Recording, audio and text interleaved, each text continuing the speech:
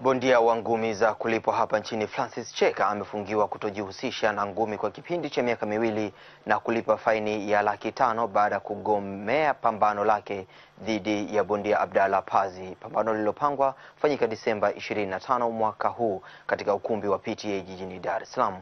Mwandishi wetu Ana Mwasioke ana undani wa taarifa hiyo.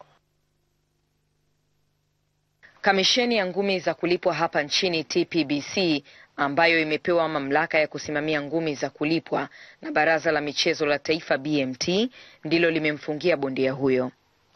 Katibu msaidizi wa TPBC Chacha Michael amesema kitendo alichofanya Francis Cheka kuchukua fedha milioni tatu ya awali na kukataa kupanda ulingoni hakikubaliki. Amefungiwa kushiriki kwa namna yoyote kwa muda wa miaka miwili na kulipa faini ya shilingi laki tano.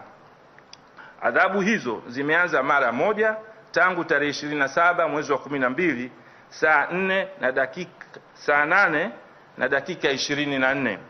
Kwa upande wake mwenyekiti wa TPBC cha urembo Palasa amesema kufuatia kitendo alichofanya Francis Cheka ambacho hakikubaliki na jamii, wataendelea kuchukua hatua na mabondia na mapromota ambao watakiuka mkataba.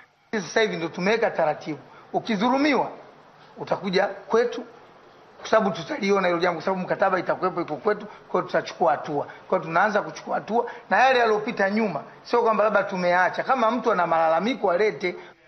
Bondia Francis Cheka alichukua shilingi milioni tatu akidai alipwe fedha iliyobaki milioni sita ili aweze kupanda ulingoni. Ana Mwasioke, TBC, Dar es Salaam.